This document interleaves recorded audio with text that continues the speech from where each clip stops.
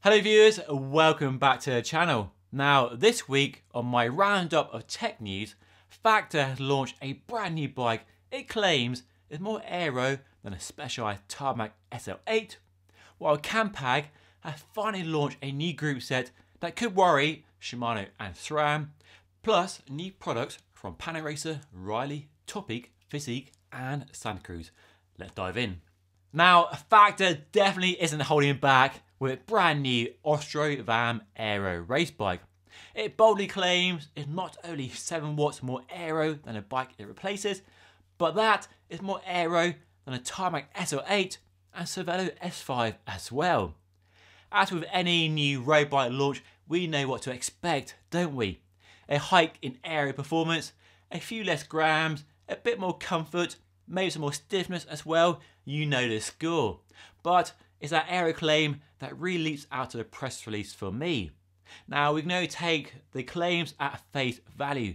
Nobody I know has ridden a bike, much less put it inside a wind tunnel to see how it really stacks up against its main rivals, but hopefully that'll come over the next few weeks and months.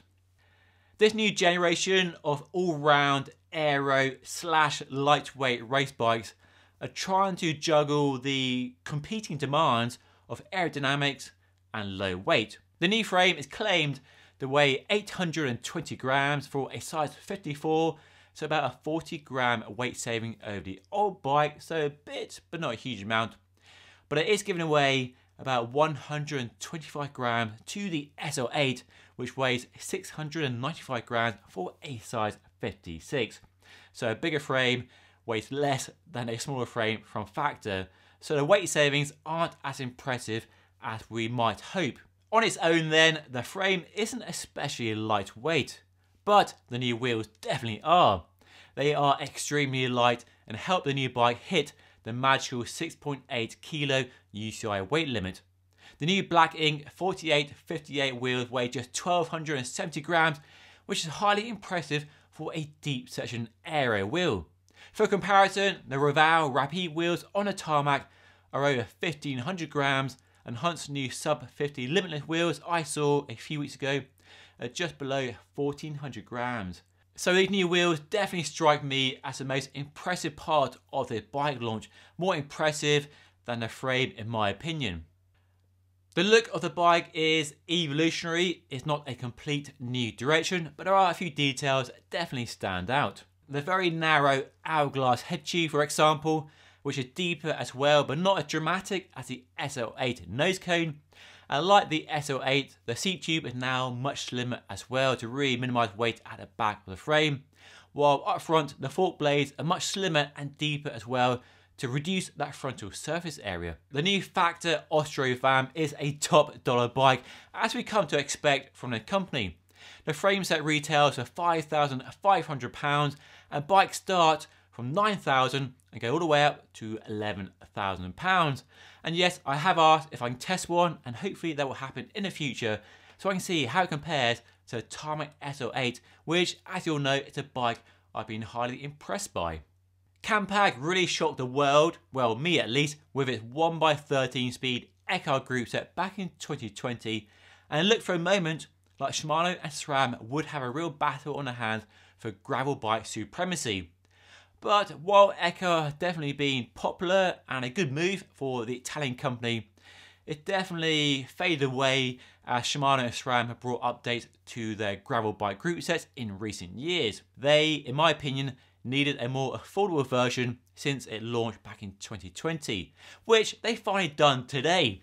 It's called Ekar GT and the carbon fibre is replaced with aluminium to make it a bit more affordable than the original group set all those years ago, although the weight does jump up to nearly 2700 grams from just under 2400 grams, so a weight penalty for that move from carbon fibre to aluminium. The company has also taken this opportunity to increase the gear range options.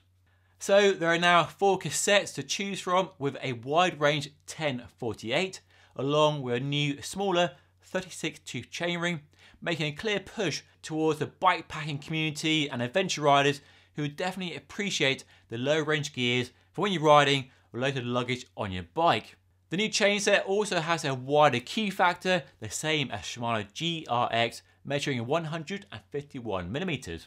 Some other small changes include a bigger pulley wheel on a revamped rear mech to stop mud clogging it in bad condition, so great one for UK cyclists, and it's also made from aluminium as well and looks pretty sleek in my opinion. They've also changed the clutch locking mechanism which was occasioning a bit of a fiddle on the original Ekar when taking out and refitting a rear wheel. Meanwhile, the hood ergonomics have been refined with a focus on the area where the palm of the hand sits on a hood for more comfort and control in their word. But until I get a chance to ride a group set, I can't really comment on what that improvement actually means but personally speaking, I've always liked the hood ergonomics on Campag group sets. Let me know what you think by leaving a comment down below. The company has also launched a brand new Zonda GT wheel set, the Matcha group set, weighing a claimed 1,690 grams with a 23mm internal rim width and the company's unique G3 spoke lacing pattern. And so to the price. Ekar launched back in 2020 before the pandemic with a price of $1,700 while the new group set is $1,600, so not much cheaper, unfortunately. But the way the global economy has rocketed over the last few years, it's probably no surprise the group set isn't much cheaper than the one that launched four years ago. So interesting to see how the group set is received, both by you people watching at home and whether bike manufacturers take the opportunity to spec new groups on their bikes and what it does to complete bikes in terms of price and how it compares to what Shimano and SRAM are offering. So I do hope the new group set is well received by you at home and the bike companies and we see more options on the market just to make a change from all the Shimano and all the SRAM group sets we see on bikes these days. Right, I've got some other cool stuff to show you that I've literally just seen at a UK bike show, Core, a few hours ago, just got home. So let me share some cool new stuff that coming out very soon and we'll start with a brand new tyre from Panaracer. So hands up if you're looking for a new fast road tyre, aren't we all? Well, Panaracer has just launched a brand new Agilest Fast 2 lineup. It's a brand new flagship tyre that been made using an electron beam bonding process which uses kinetic heat to melt the materials together and essentially improves the precision of the manufacturing for better quality control and apparently better performance as well. And a result of all that is a tyre that both lightweight and claimed to be as fast as anything on the market right now, including the very popular, the benchmark Continental GP5000. Take the claims with a pinch of salt of course, we'll wait for independent testing and my own testing and testing from other people to see how the tyre actually performs and how it stacks up compared to GP5000 and other tyres in the market right now. Now the only downside to a new tyre for me is it's currently only a clincher tyre. There is no tubeless version yet, but hopefully that will change in a not too distant future. But if you hate tubeless, you like inner tubes, especially TPU inner tubes, and want a fast, lightweight tyre, this could be worth checking out. I'll put a link to their website down below for when it's available, which is very, very soon. Now, this is a cool looking bike that takes me right back to the 1990s with its splatter paint finish. Underneath the cool paint is a Surly Preamble, a steel framed flat bar gravel bike built up with SRAM Rival AXS group set. And it's definitely a bike I would love to ride. It looks really cool. Let me know what you think by leaving a comment down below. This is a Reilly Fusion, the British company's flagship road bike, and it looks stunning, doesn't it? Both because of the cool anodized finish around the head tube, which I really like, but also the smoothness of the junctions on the frame, which you don't often see on titanium.